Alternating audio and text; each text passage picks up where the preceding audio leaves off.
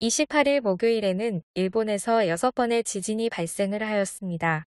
먼저 오전 5시 53분에 오키나와 근해에서 규모 3.0의 지진이 발생을 하였으며 진원의 깊이는 50km입니다.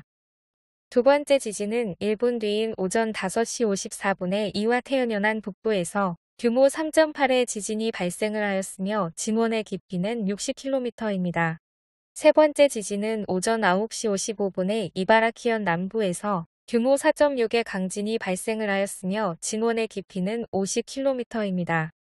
네 번째 지진은 오후 3시 50분에 와카야마현 북부에서 규모 2.1의 지진이 발생을 하였으며 진원의 깊이는 10km입니다. 다섯 번째 지진은 저녁 9시 28분에 나가노현 남부에서 규모 2.8의 지진이 발생을 하였으며 진원의 깊이는 10km이고 여섯 번째 지진은 후쿠시마현 아바다에서 규모 4.1의 강진이 발생을 하였으며 진원의 깊이는 50km입니다. 28일 목요일에 발생한 여섯 번의 지진들 중에서 제가 가장 눈여겨보는 지진은 이바라키현 남부의 규모 4.6 진도사의 강진입니다.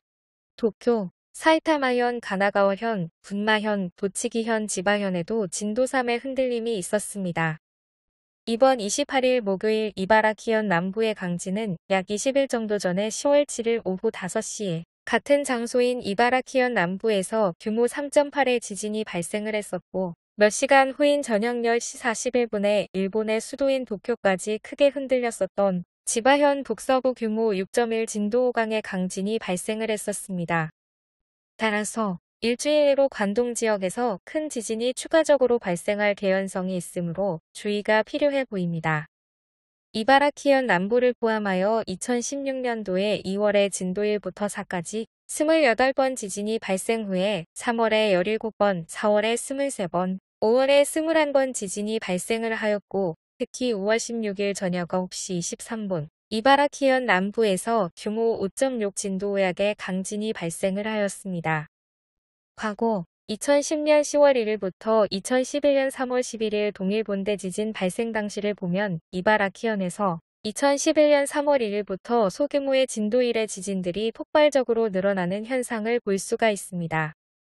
따라서 11월 달에 관동 지역에서 큰 강진 발생 가능성이 높으니 주의하여야 하겠습니다.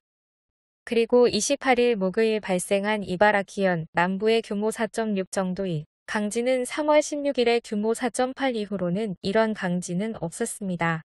과거 기록을 보면 1년에 3번에서 4번 정도 발생하는 지진으로 작년 2020년과 같이 일본의 지진 발생이 특이한 곡선을 그리기 시작하는 해에 6번 발생을 했었으며 그 이외에는 이바라키현 남부에서 1년에 두세 번 정도이고 2011년에도 10번 발생을 했었고 2016년 구마모토 대지진 당시에도 6번 발생을 하면서 일본의 대지진 발생 시기에는 자주 발생하는 것으로 추측해 볼 수가 있습니다. 그리고 27일 수요일 시코쿠의 에히메현에서 규모 3.1의 지진이 발생을 하였습니다. 에히메현은 지진 발생이 거의 없는 지역입니다. 작년에도 이 지역에서 지진이 한 번 있었습니다. 그런데 올해는 벌써 세 번 지진이 이 지역에서 발생을 하였습니다. 에이메현은 제가 자주 말씀을 드렸듯이 이 근처에는 중앙고조선 단층대가 지나고 있고 나소선과도 연결되어 있으니 주의해야 하는 장소입니다.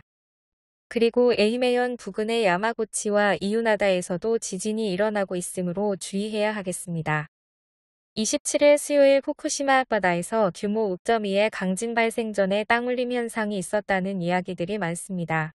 그리고 태풍 이후에 큰 지진이 발생할 확률이 높으니 20호 태풍 말로가 지나간 이후 강진에 주의하여야 하겠습니다. 시청해 주셔서 진심으로 감사드리겠습니다. 구독과 좋아요 알람 설정을 꼭 부탁드리겠습니다. 이 채널을 운영하는 데에 큰 힘이 됩니다.